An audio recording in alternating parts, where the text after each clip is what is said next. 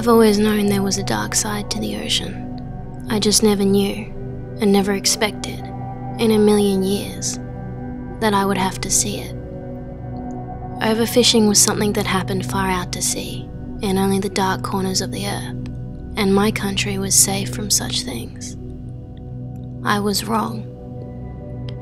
I was here the split moment that the amount of sharks I've seen dead began to outweigh the amount I've seen alive. You can read statistics, see the end of the ocean in the form of numbers.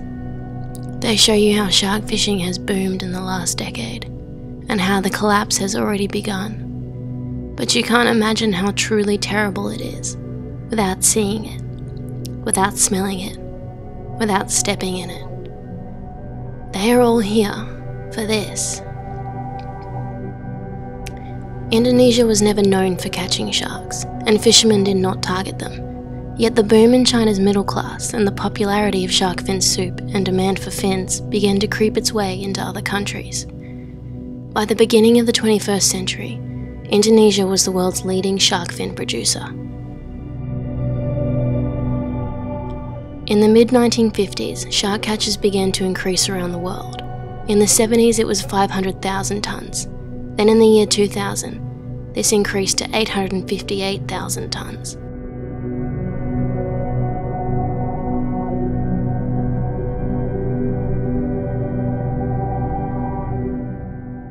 The majority of sharks and rays captured in Indonesian fisheries are bycatch from tuna fisheries, except in this town. Here they are major target species. We are already starting to see evidence of overfishing occurring, with these men taking their boats out for weeks at a time now to catch less than they did before, and barely making enough money to stay above the poverty line. They are increasingly venturing into Australia's waters just to catch sharks.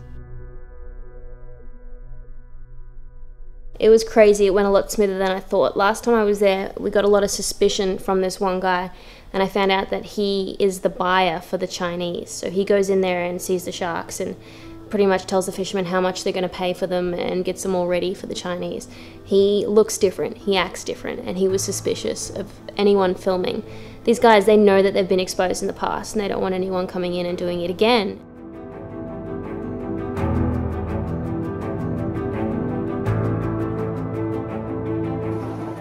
Indonesia has jurisdiction over an exclusive economic zone of about 3.1 million square kilometres, the fifth largest in the world, meaning a vast amount of ocean they own and fish to their desire. There are few laws here, and much corruption. No unit of protection given by any of the organisations around the world is enough to stop the fishing of vulnerable species, and you'll often find protected animals here juveniles, manta rays,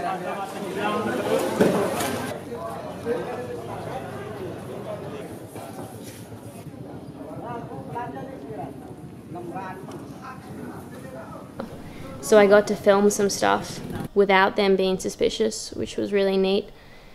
That wasn't even the worst I've seen that market, which is the messed up thing.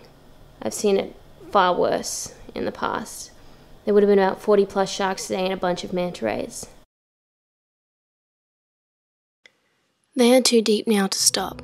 If stricter fishing laws were in place and their catch decreased even a small amount, many would suffer, especially the women of the community employed in the processing side of shark exports. Any restrictions on fisheries output will create ripple effects through the entire economy.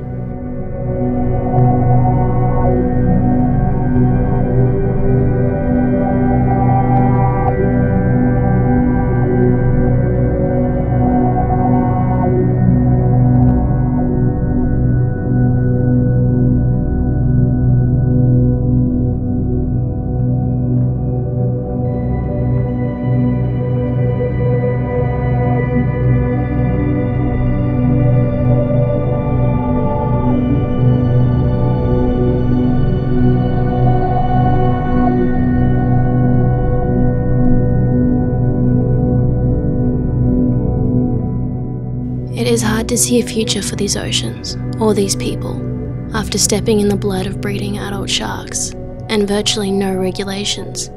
It gives rise to new despair for the state of the planet. It is clear now it won't be a sanctuary that saves sharks, or a marine park laid down by governments.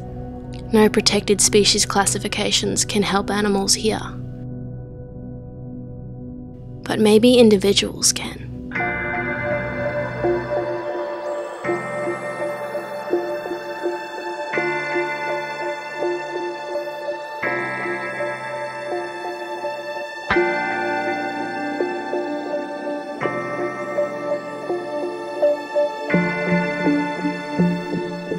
This is my friend Paul Friese.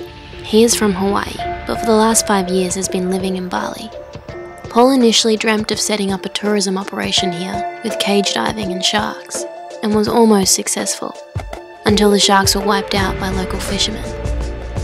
This inspired him to create these nurseries instead, and now Paul has a floating sea pen in Serangan Harbour, and it's home to several baby sharks.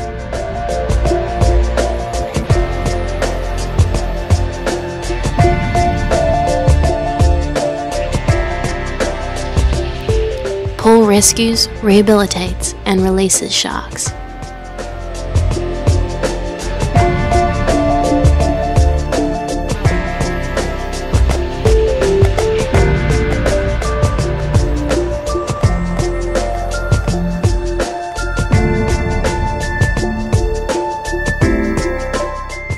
Sharks are kept alive in tanks at restaurants here, and sometimes cooked whole. Paul buys them from the restaurants alive and takes them back to the pens. He has also changed the minds of a few fishermen and buyers at the local market who no longer catch and kill sharks, but keep them alive after accidentally catching them and bring them to Paul to release. This also gives Paul the unique opportunity to get people in the water with sharks. People of all ages come here to swim with these sharks.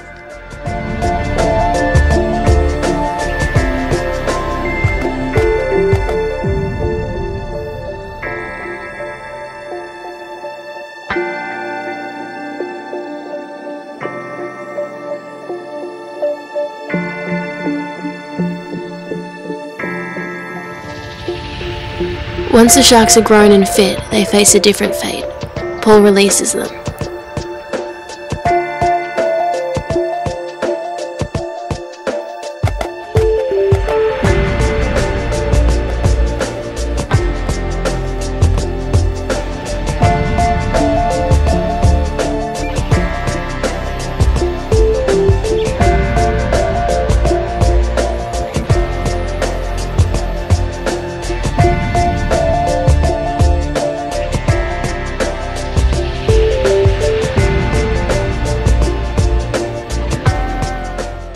With 181 rescues under his belt, Paul continues to facilitate the survival of sharks, even successfully infiltrating a high class bar that had baby sharks in tanks on display.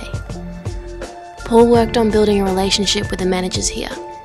They reached out to Paul for advice on feeding them and caring for them, and he slowly convinced them to let him take the sharks out of their tanks and release them. He's now working on alternative displays with them.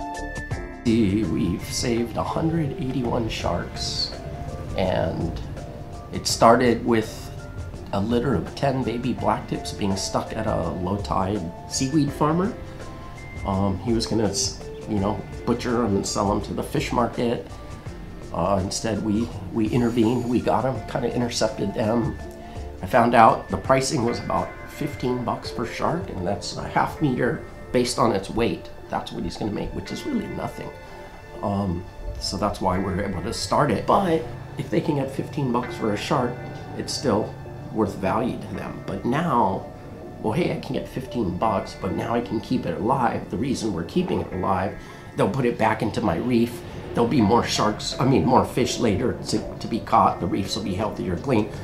So a lot of them, it resonates and they get it. Um, and the other thing I've seen fishermen show up with their kids to the nursery and they'll like play with the sharks. They'll feed them and show their kids. So that that's a really maybe it shows pride that they didn't have to kill something every time they go out fishing. So the sun is down. We got a call.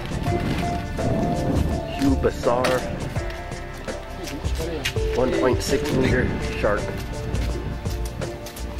Singaraja? Oh, Female. Fe- female. You uh. look, yeah. Big. Tall.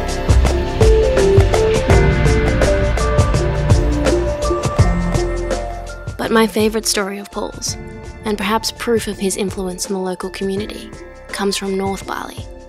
Fishermen filled the back of their car with water and drove four hours to Paul to give him a shark. The shark was pregnant, and the fishermen couldn't kill it.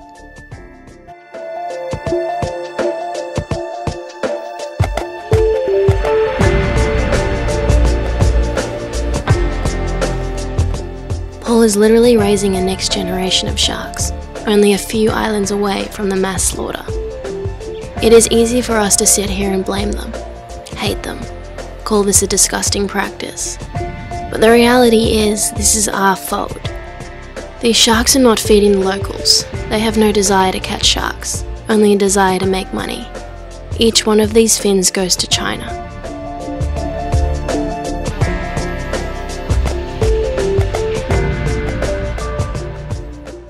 These individuals are being fished by men who know no better and are trying to feed their families. The Chinese buyers, the Australian supermarkets selling shark meat from Indonesia, the shark tooth necklaces for sale, and the people who buy it. This is the real evil that we need to focus on.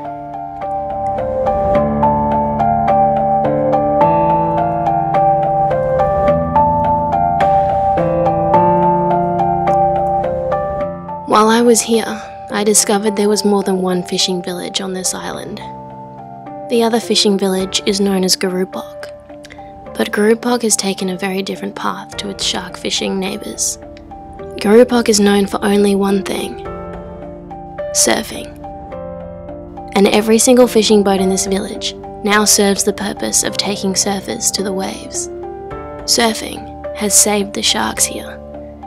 People come from all over the world to surf Gerupuk, and the locals make good money from surf lessons, boat rides, and board hire. They transform their boats, once dedicated to fishing, to be able to carry us to the waves. Their income is higher than that of the men fishing sharks. And the waves will never disappear from the oceans, like the sharks will.